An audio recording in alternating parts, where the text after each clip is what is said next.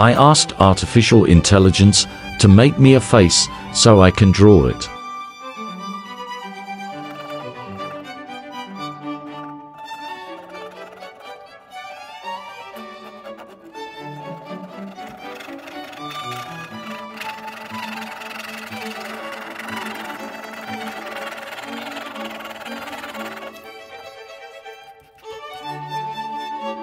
Magnifico.